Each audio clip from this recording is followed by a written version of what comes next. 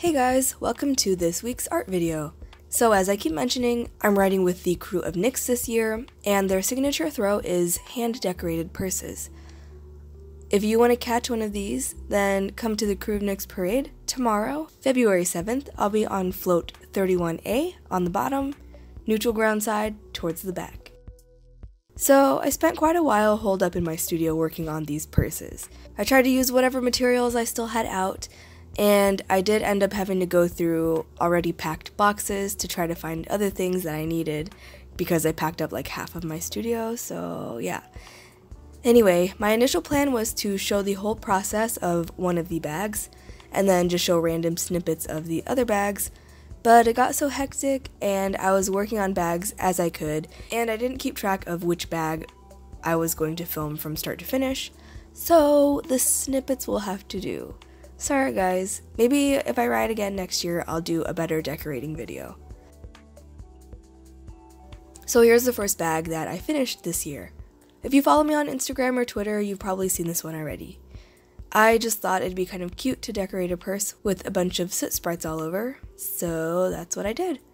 To give the little candy food things some dimension, and to glitter them without getting the colorful glitter all over the bag, I piped some puffy paint onto a plastic sheet and, while wet, sprinkled some glitter on top. Later in this video, you'll see me make more of these glitter transfer things with a different design. When they dry, you just peel them off and then glue them wherever you want. To make the soot sprites, I just did some black puffy paint straight onto the bag, and then I added the googly eyes.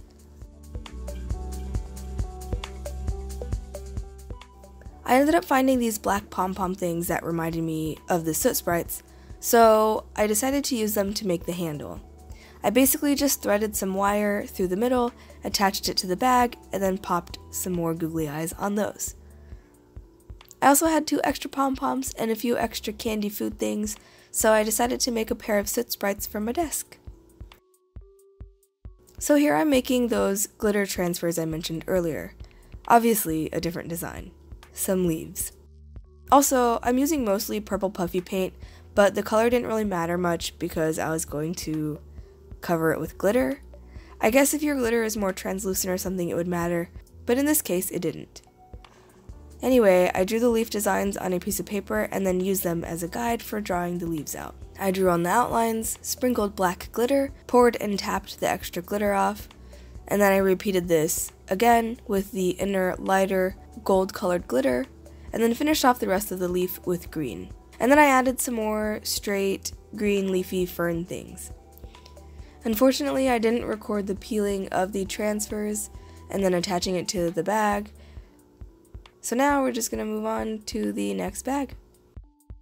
For one of these bags, I got it in my head that I really wanted to do an old Rococo style wig.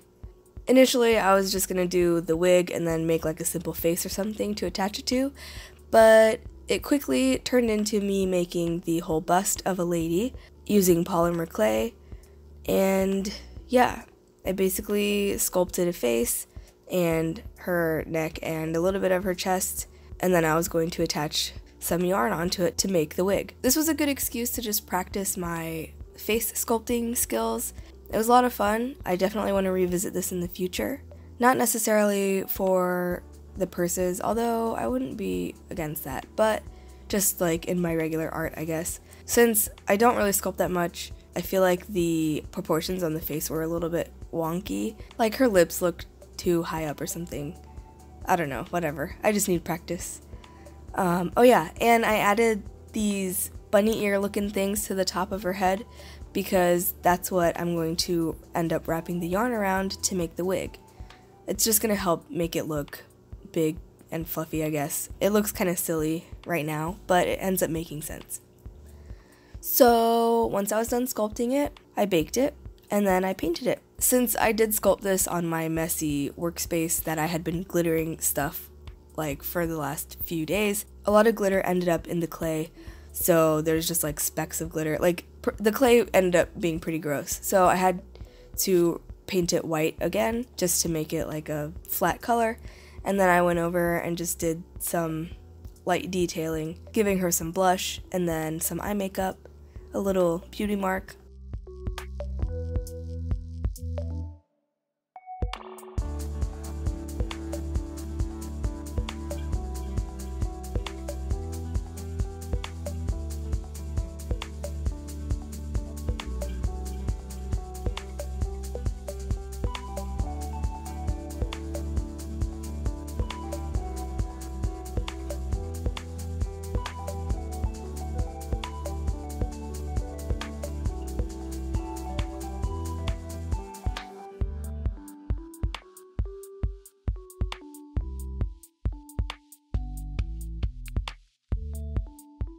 And then I sealed it with this Sculpey glaze stuff.